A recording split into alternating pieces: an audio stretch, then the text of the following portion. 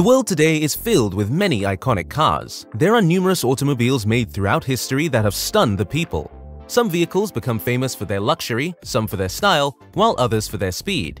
But since the introduction of Lamborghini cars, it has become the one car that has it all – acceleration, style, and a smooth ride. Lamborghini has inspired generations upon generations, but there is something that is even more inspiring than the car itself. It is the story of the man who manufactured the vehicle, Ferruccio Lamborghini, and today we will dive right into it. Ferruccio Elio Arturo Lamborghini was born on 28 April 1916 to a family of grape farmers. His parents worked at a vineyard. They wanted Ferruccio to join the family business. Still, he did not share the same passion for farming as his family did. He was more interested in the machinery that they used during farming. As a young man, he loved to study the mechanics side of agriculture. After he came of age, he followed his interest in mechanics. Lamborghini went to study at the Fratelli Taddia Technical Institute near Bologna. He graduated with an engineering degree.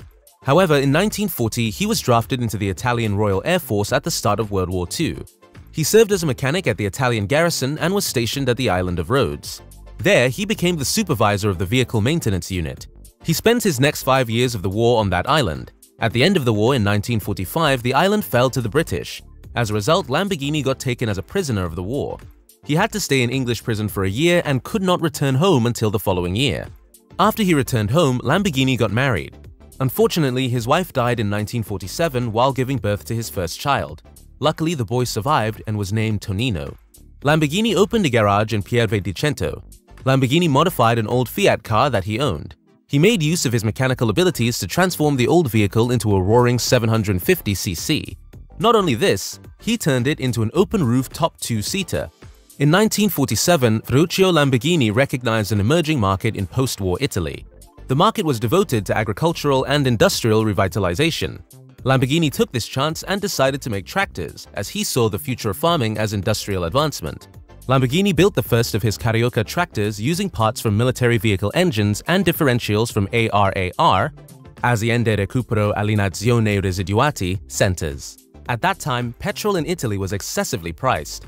To overcome this problem, Lamborghini modified the engines of Morris vehicles with a fuel atomizer he created.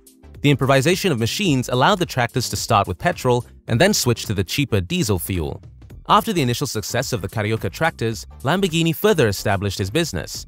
He founded a company named Lamborghini Trattori and began manufacturing tractors. Lamborghini's mechanical expertise led him to enter the business of tractor manufacturing in 1948. He quickly became a successful manufacturer of agricultural equipment during Italy's economic revolution post-World War II. After he had established his tractor business in 1959, he opened an oil burner factory. He named it Lamborghini Bruciatori. The same company later entered the business of producing air conditioning equipment. By that time, Lamborghini had become one of the most influential businessmen of Italy. His name was widely known. Although he was still considered a farmer's son who only made tractors among some of the elite, his reputation spoke otherwise. He was one of the wealthiest men in Italy, and his fortune was only increasing. With his abundant wealth, he pursued his ambition of owning expensive cars. He could now purchase faster and more expensive vehicles than the tiny Fiat he had tinkered with during his youth. During the early 1950s, he bought cars such as Alfa Romeos and Lancias. Later on, he added a Mercedes-Benz 300 SL to his fleet of vehicles. He also purchased a Jaguar E-Type Coupe. Afterward, he got two Maserati 3500 GTS. Although Lamborghini had enough cars to drive a different car for every day of the week, he was not fully satisfied with the sports cars that were being made. Every vehicle on the market had certain defaults which disappointed him. He respected Adolfo Orsi. He was the owner of Maserati back then. He had started life as a poor boy, just like Lamborghini, but he did not like his cars much. According to Lamborghini, Maserati cars felt heavy, which affected the speed of the vehicle. It slowed them down. The heavy weight did not let cars run very fast. Lamborghini then came to know about another car that had earned a name for itself in no time. They were the Ferrari sports cars that everyone talked about. In 1958, Lamborghini traveled to Maranello to buy a Ferrari 250 GT. It was a two-seater coupe designed with a body by coach builder Pininfarina. He went on to own several more over the years. Lamborghini found out that Ferrari's cars were equipped with inferior clutches. As a result, cars required continuous trips to Maranello for rebuilds, but that never solved the issue. One day, with his mechanic, he replaced the clutch with one of his clutches to make tractors. It made the ride very smooth. Lamborghini brought this to Enzo Ferrari's attention. The notoriously pride-filled man Ferrari dismissed him, telling him, what does a tractor manufacturer know about cars? After that day, Lamborghini made up his mind to build a sports car with qualities lacking in Ferrari's cars. He aimed to have high performance without compromising tractability, improve ride quality, and better the interiors. A clever businessman, Lamborghini also knew something that could make triple the profit. If he installed the components used in his tractors in a high-performance exotic car, he would have a thriving business. His aim was not only to generate competition for Enzo Ferrari, but he also wanted to make a car that defeated Ferrari's cars in every way possible. To fulfill his objective, in May 1963, Lamborghini founded the company Automobili Ferruccio Lamborghini. He hired former Ferrari engineers Gian Paolo Dallara and Robert Wallace to design and develop his cars. The first car that was manufactured in the company was the Lamborghini 350 GT. Lamborghini made sure that his car was free from all of the glitches found in Ferrari. Once he was able to clear them all, his car became far superior in terms of the defects that Ferruccio had seen in the Ferrari.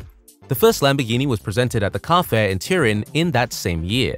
Coming years, slowly yet steadily, Lamborghini's car gained popularity. He personally liked his vehicles in every way. However, his steady rise of the sports car brand catapulted in the year 1967. Lamborghini introduced the model Miura that year. The Spanish bullfighting livestock inspired the name Miura. The founder of Lamborghini had always been passionate about bullfighting.